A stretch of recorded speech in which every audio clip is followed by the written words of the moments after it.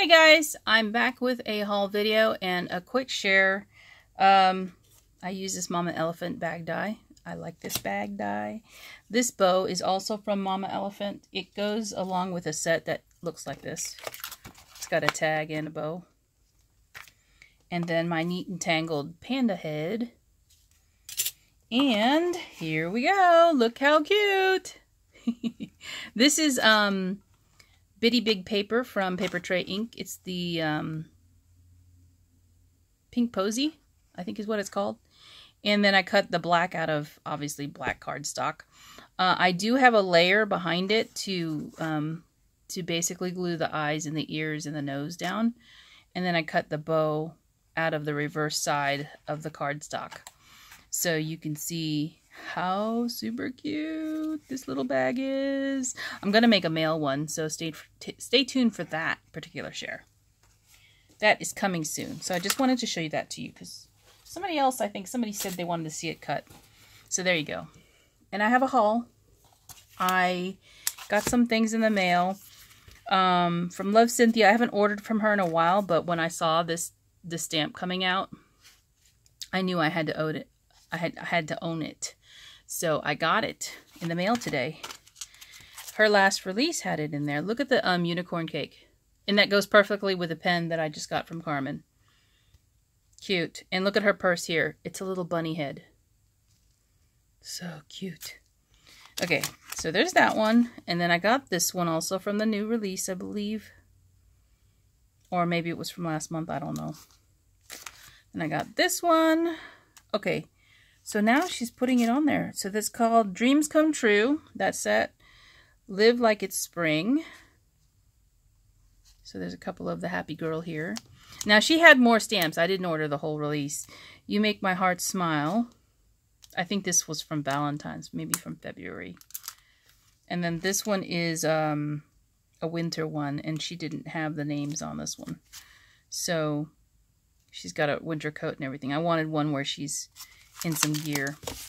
So those are the four stamp sets I got from the release recently. And then I got a haul from Esme and another item in the mail. So I got some bling. Look at this bling. It's very clear and it's very big. And I also got one of these. It's really big. That's beautiful. I love that thing. And I think I need to talk to Esme because, yeah, that was the same one. Okay. Um, let me show you what else I got. I got some of this, which are pink flowers, and this is my favorite vintage pink. These are flowers, they're handmade. Um, and they come in a bag like that. So I got two bags.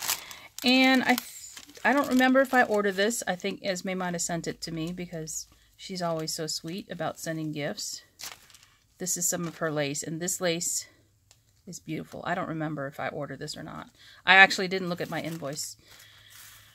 Um, oh, so it's like this long piece here that has this detail at the end of it. That's beautiful, Esme. I can only imagine what her um her lace vault looks like. and then these pink dangles. I think I did order these. I don't remember. These are beautiful. It's got sequins and beads in here and then Look at all the dangles.